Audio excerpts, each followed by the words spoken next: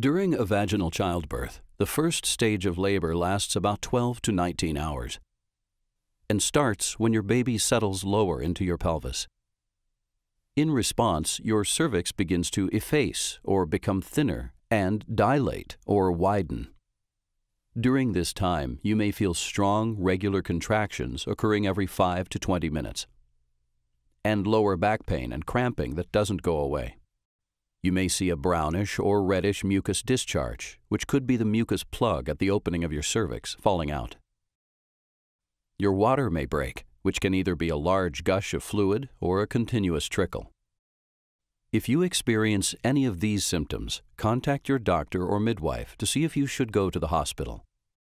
At the beginning of stage two of labor, which can last from a few minutes to three hours, your cervix is fully dilated to 10 centimeters and your baby's head has moved beyond the cervical opening into your birth canal.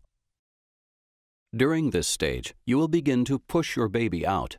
You may instinctively push when you feel the urge, or you may need coaching from your doctor, midwife, or labor nurse as to when to push and when to rest.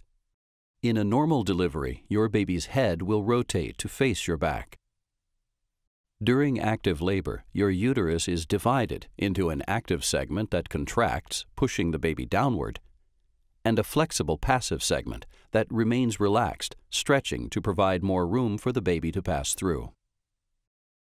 In some cases, when the top of your baby's head appears or crowns, your doctor may make a small cut called an episiotomy to enlarge the vaginal opening.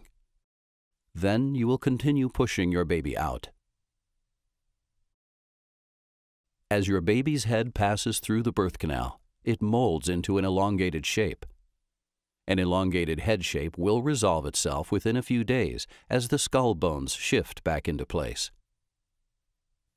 After your baby's head exits the birth canal, his or her head and shoulders will rotate to help the shoulders pass through the birth canal.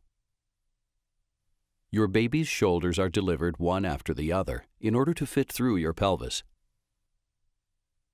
Once the shoulders emerge, the rest of your baby slides out easily. After your baby is born, his or her umbilical cord will be cut.